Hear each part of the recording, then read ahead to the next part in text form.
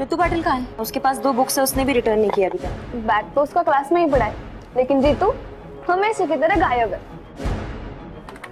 ऋतु का पीजी तो दस मिनट की दूरी पे है। मैं स्कूल के बाद जाकर देखती हूँ। पोस्टमार्टम वालों को ये क्लैरिटी नहीं मिलेगी कि तुम्हारी मौत गला दबाने से हुई है या फांसी के बंधने से।